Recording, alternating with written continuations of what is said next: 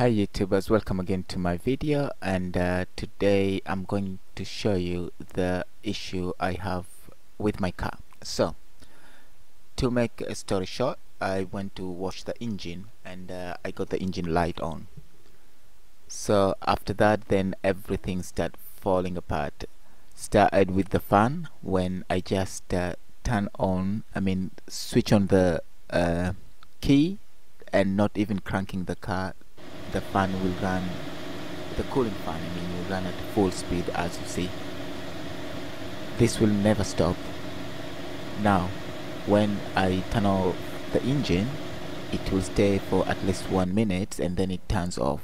That's fine. That wouldn't I mean I, I wouldn't mind because the engine is getting is getting very very cold. Now sometimes this fan will not even turn turn on at all.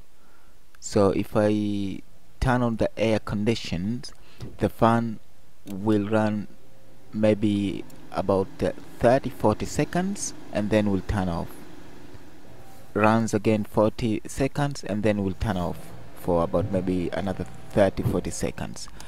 So I'm not sure what is the problem. So you can see I've done everything. I, I swapped the uh, fuses. Also I swapped the relay and this never never helped try tried also to tap those uh, fuses like other people are saying but it never helps.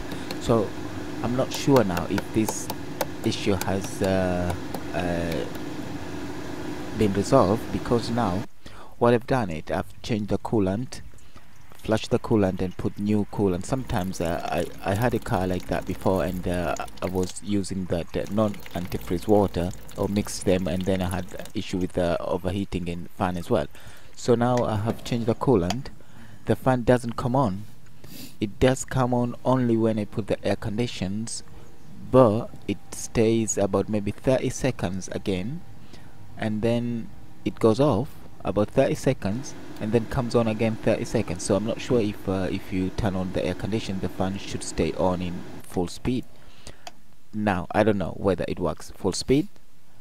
It should be or middle speed so guys, if you're in England, uh, you can recommend any mechanic around the northwest in Manchester area. I'll be very happy. So thanks very much for watching and please subscribe.